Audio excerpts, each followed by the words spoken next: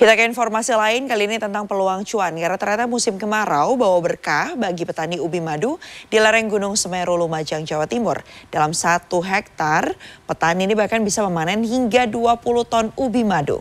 Cuan yang diraup hingga puluhan juta rupiah. Sementara itu meski terjadi perubahan cuaca dari kemarau menuju hujan, durian bawor dari desa Alas Malang Banyumas Jawa Tengah masih diburu para penikmatnya. Berikut informasinya dalam segmen Demi Cuan.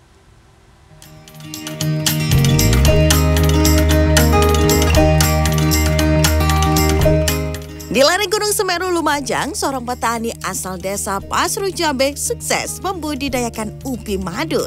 Ubi madu bisa dipanen 4 bulan setelah tanam. Dari lahan seluas 1 hektar ini, Haryanto bisa memanen ubi madu hingga 20 ton. Satu kilogram ubi madu ini dijual dengan harga Rp3.500. Dan dari satu hektar lahan ubi yang dipanen, Haryanto bisa meraup omset hingga 70 juta rupiah ini istimewanya rasa ini rasa lebih manis dan karamelnya itu lebih uh, apa namanya lebih banyak kan gitu ya daripada ubi-ubi yang lain kan tidak mengeluarkan karamel atau madu.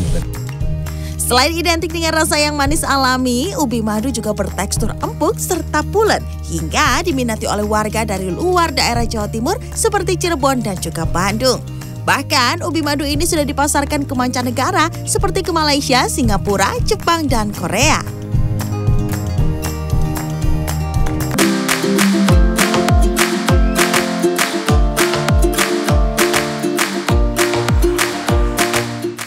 Sementara itu, meski belum masuk musim durian, namun pemilik lapak durian bawor di Desa Alas Malang, Banyumas, Jawa Tengah terus diserbu pembeli seperti dari Purwokerto maupun dari luar Banyumas. Durian bawor di lapak milik Rizal ini disebut-sebut rasanya tak berubah, tetap manis dan legit. Bahkan Rizal mengaku meski saat ini kemarau basah, permintaan durian bawor di lapaknya justru meningkat. Hingga Rizal pun mengaku dirinya kewalahan memenuhi permintaan para penikmat durian. Musim cuman baru musim bang. Mengawali. Ya, awal-awal matang. Oh. Terus gimana permintaan terhadap durian sini Bawor? Lumayan juga sih Pak. Yang banyak sekali.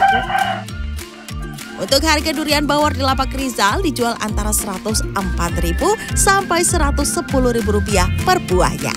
Tim Liputan CNN Indonesia.